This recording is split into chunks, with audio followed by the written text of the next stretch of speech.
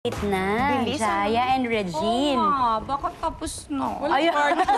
Nagre-reklamo mo, tapos na. Okay, kilalang kilala niyo na syempre ang isa't isa at alam niyo kung gaano ka-deserving ang inyong best friend of all the good things in life na talagang dinedesire ng heart niya. At this point, um, hihilingan namin kayo na kausapin ang iyong best friend, ang isa't isa, at sabihin yung nilalaman ng puso ninyo o kung ano yung gusto ninyong ipayo sa inyong best friend para talagang makamit niya na yung, yung minimithi ng kanyang puso. Nax Oh, di ba? Ganon. Ayan. Nakakatakot ito. Ako muna, ako Okay. Baka maiyak ko. Ay, kaya ako na lang tama tinginan. Sige. O, kanyari. Hindi na nagtinginan. So, sige, sino muna? sila? Mas iyakin ako sa'yo, no? Yung sa Ay, kakahiya ako, ako. yan o, may First of all, eh. first of all, gusto ko munang mag-thank you sa kanya. Huwag na kasing ganyan eh. O, ito. No. Dali. Ha? Kausapin mo siya, Jaya. Okay, I'll, I'll try Teka muna, teka muna, teka muna. Okay, okay, go. Huwag ka go. muna tumingin sa akin. Hindi, gusto, I wanna say thank you to to her, to you. Kasi dun sa mga lahat ng kailangan kong pagdaanan, you were there, and... and... Baka pumangit ako. um, Hindi ka napapangit. Ako lang yun. hindi, tsaka bihira ka makahanap ng kaibigan na talagang will stand by you. Na kahit ano pang sabihin ng ibang mga tao about you, talagang ilalaban ako ng patayan. Bihira yon And isa yun, isa yun sa mga, mga, ah, na parang kaya ko siya, kaya ko siya mahal na mahal. Kasi talagang alam kong ipagtatanggol niya ako. Tsaka, hindi, tapos, hindi, tsaka, hindi, tsaka natutuwa din ako dahil finally, she found this person na talagang nakikita akong mahal na mahal niya at sobrang happy sila together. For a while, I have to tell you na nag-worry ako sa'yo. Nag-worry ako at dinadasal ko every night na sana maging okay ka. Kasi alam ko for a while parang medyo nagmalungkot ka kahit hindi mo sinasabi sa akin. Although na may mention mo. So, pinipray ko na sana finally makahanap siya ng taong tatanggapin siya at mamahalin siya. Kasi ang bait-bait-bait at napakaganda, busilak na busilak ang kanyang puso. Wala ka na makikitang friend na kagaya niya. So, so thank you very much, Jaya, for every for everything and for loving me. Ano ba? Makakapagsalita pa kaya ako? Jaya, tanong. kaya mo yan. Ah, kaya ko ba? Kaya ko. Okay. Um, teka lang. Pwedeng iiyak ko muna bago Sige. ko sabihin. Okay. Um, not many of us get so fortunate to have a friend, no?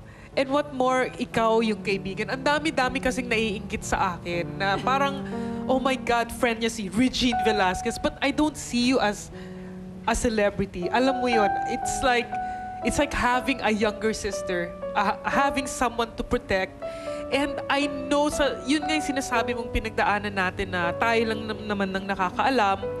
It's, it's not easy for you, but I know somehow you managed to handle the situation and I know, I, I parang, there's just this one thing that I wish for you and I know it's going to come true very, very soon for you. Kasi you only deserve the utmost happiness. Alam mo yung OA ka na sa pagtulong, OA ka na sa, nabigay mo na lahat na, na, na itulong mo na lahat na, alam mo, nagawa mo ng lahat. But just this one thing, at I, I really, really, really wish for you. It's, alam mo yun, nakakainis kasi parang, I wish I could give it to you. I wish. Ay, parang, alam mo yun, alam mo yung sinasabi ko, di ba? Alam mo yun. So, as far as our friendship is concerned, um, ang tiwala ko sa'yo, ganun. Ganun kalaki. And my love for you is, hindi ko ma-describe because I not only love you as a person, but I idolize you as well. And you've taught me so much. I know that you're always thinking of me. Yung, minsan, na ano na nga ako, parang OA ka na sa giving. Alam mo yun, nakakainis. Minsan maging ma- maano ka naman, um, selfish.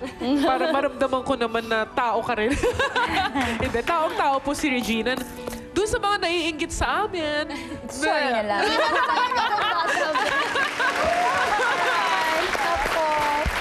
Maraming salamat sa inyo, Regine and Jaya. Alam mo, maswerte kayo nakatagpo kayo ng best friend sa sa isa't isa, sa industriya natin. Ako, sana Mahirap. lumalim pa at maging mas makabuluhan pa ang inyong pakikipagkaibigan. Nako, hanggang forever and ever. Kaya nga magkumain na kami. Thank you very much for having us. It's an honor and a Thank you. pleasure. Thank you, thank you. Meron ba kayong... Yes, ako po ay may ipopromote lamang. Naiyak-iyak pa tayo. Naiyak pa tayo. I'm celebrating my 20th year in the business and in line with that, Magsushowing na po ang aking bagong pelikula na ang title po ay uh, Till I Met You. Wednesday na po yan. At uh, magkakaroon din po ako ng concert itong weekend na rin na to, 13 and 14 at the Araneta Coliseum. It's called 20. Sana po manood po kayo. Siyempre, yung ating show. Pinoy Pop Superstar! SOP and All-Star K. All-Star K! The Women of Peso Billion Challenge. okay. Thank you for having us Thank here. you very, very We'd like to thank all of our sponsors. Thank you very much, SM Department Store, Dr. Vicky Bello, Fernwood Gardens, located at 69 Senecal Drive, Sunville Subdivision, Quezon City, Albert de Guzmano Play and Display, Judy Del Prado, Best Flower Shop, Metro Girl Shop, thank you. Maraming salamat din po sa Asta Urban Salon, sa City Jeans, Mojo Gym Red Corner, Cathy Valencia Skin Center, Bong Santos of Danny Capistrano Salon Project 8, Quezon City, Keystone Lamps, Hemedy, New Manila, Picture City, Araneta, Cubao Branch. At maraming salamat sa inyong lahat, mga momsies. Lagi niyong tatandaan tuwing alas 5.30 ng hapon. Dito lamang po sa QTV, magsama-sama tayong mga mom!